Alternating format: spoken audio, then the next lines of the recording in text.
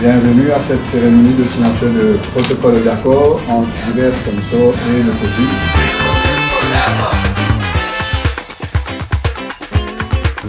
Donc je crois que pour nous c'est un grand moment. Un grand merci d'avoir compris euh, que c'est une belle aventure que nous allons vivre ensemble.